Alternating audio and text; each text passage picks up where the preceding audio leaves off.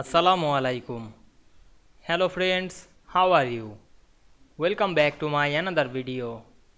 In this video, I am going to show you how to center a text box on the page in Microsoft Publisher. Let's get started. Firstly, we have to open a Publisher document. Now we want to center this text box on the page. Firstly, zoom out the page then go to the home menu and click the draw text box option and draw a text box over the page.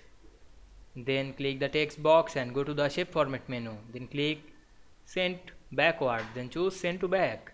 Then press shift on our keyboard and select the multiple text box. Then go to the shape format menu again and click align option. Then choose center and again click. Then choose middle. Then select the big text box and delete it. Now we can see we center this text box on the page very easily. I hope you enjoyed the video. Please like, comment, share and subscribe my channel. Thanks for watching.